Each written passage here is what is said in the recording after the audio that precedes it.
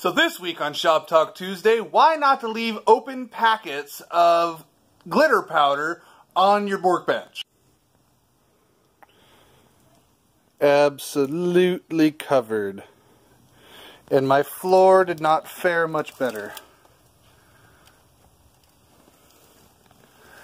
The camera is only actually showing about 30% of what's actually there. It's everywhere.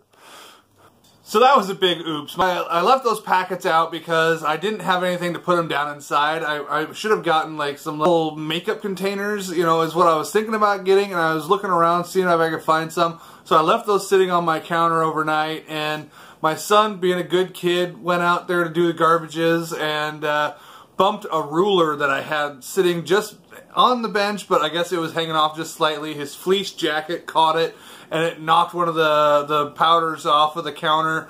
It then hit the floor, and like a freaking glitter grenade just went boom everywhere. And he came in from the shop, and I'm like, buddy, why are you covered in glitter? He's like, oh, I just bumped your counter. And I was like, no, no, you did not just bump my counter. What happened? And so um, instead of going out there right away, uh, we let that dust settle overnight because it was airborne. He got it all up his shirt, face. He was beautiful, actually. and then uh, uh, I went out there today and found that it was just everywhere. And it had settled, and it was like snowfall in beautiful green-blue fashion. so uh, got that all cleaned up as best as I could with some denatured alcohol and some blue shop towels, but uh, uh, everything is still pretty well covered. So it's going to take some more cleaning, a little more time, and I think I'm just going to have to replace that green mat because it's never going to be the same again. I think it's having an identity crisis now. It's going through some depression, and we're just going to put it out of its misery.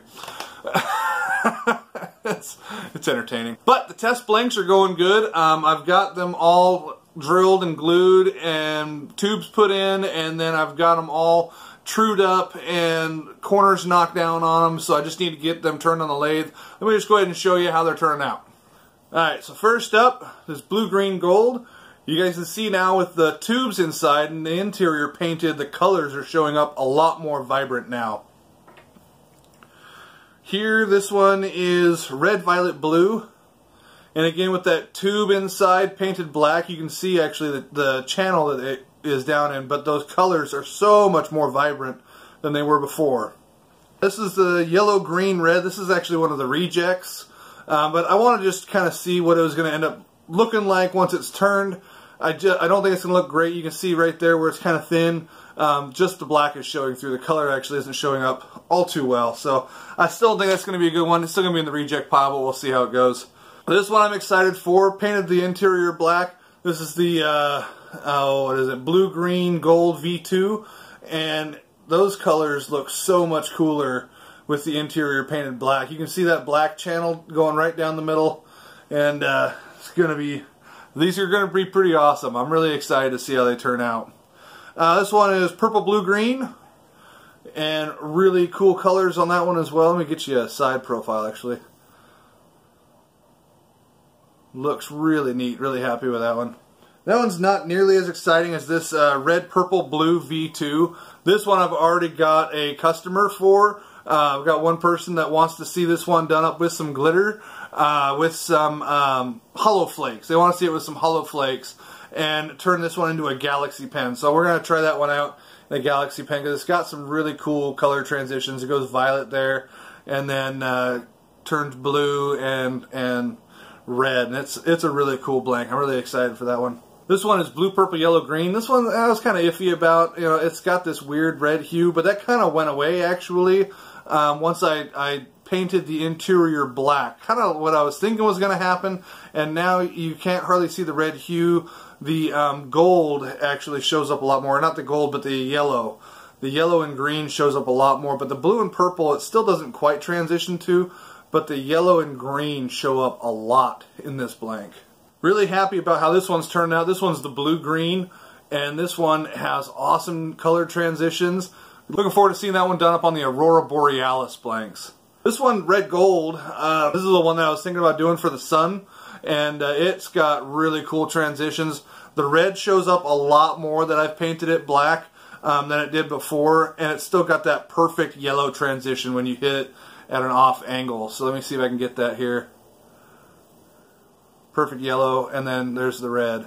So that one's going to be a cool one. And this green blue that had the red background, painting it black makes the green and blue show up better. Before the blue was looking a lot more violet, um, but now that I've painted it black, it actually transitions true blue and, and not, you know, an off blue violet color. So um, I'm actually going to turn this one up because I want to see how well it turns out. Um, I think it's going to be a lot better once it's turned because you can still see, if you look at the corners, you can still see that amberish color. Um, but the blue-green actually transitions blue now, not violet. And then uh, the green still looks pretty good.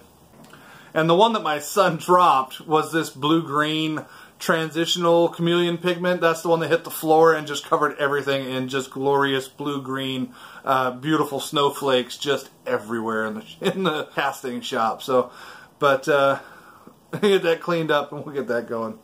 It's kind of it, it's comical now that we've laughed about it, but at first it was like, you did what? Oh no, this is going to be a mess. Uh, years ago, I actually vowed, I was like, I will never work with glitter. I don't want to work with glitter. Uh, you know, and uh, Demetri Martin used to actually say, glitter is the herpes of the art world. Once you get it on you, you'll never get it off again. And, and it's very true. Um, but now that I've worked with glitter on pen blanks, uh, I actually like the stuff. It's It does some really neat effects. It does some cool things. You can manipulate it in ways that uh, you can't with just, you know, normal pigments. And so I'll continue working with it because I like the stuff. It's, it's fun to work with, and uh, we'll just keep trudging forward. Just sometimes you have to deal with a mess.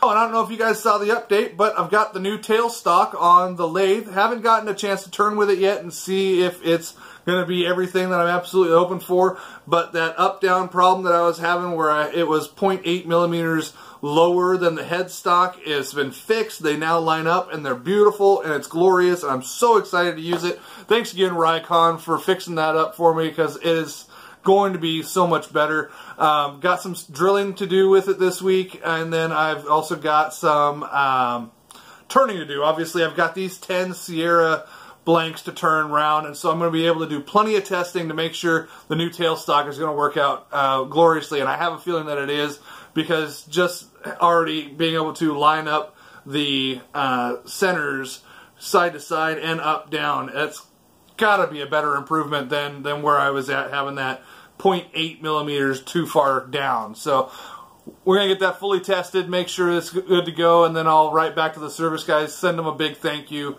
and, uh, and we'll get that going.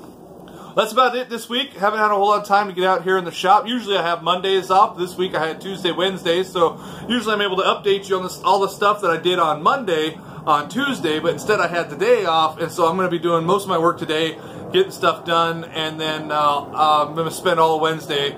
And so on next Shop Talk Tuesday, I'll give you guys more of an update of what we've got going on out in the shop because I'll have both Wednesday and hopefully Monday of next week, so long as I don't get called in to work, uh, in order to uh, get stuff done out here in the shop. And also, I've got a whole bunch of orders coming in this week. I've got a whole bunch of woods and stuff that I ordered and picked up, so I'll show you that uh, on the next week's video. Oh, and the Editor G2 pen is live. Check it out in the description below. I'll throw it down there. I'll probably also throw a card up here in the corner uh, so you guys can check that one out. So you can now can go on and see how to do an Editor G2 conversion. Um, and you can also do like the Frixion, the Pilot V5 RT. You can do it in Rollerball. All you got to do change the length of that uh, that tube, the barrel that you glue in, and that will give you uh, different effects. So you just have to find the ink that you want, put it down in there, measure it, and it's good to go. So I've got another video that I'll do out um, here in the future.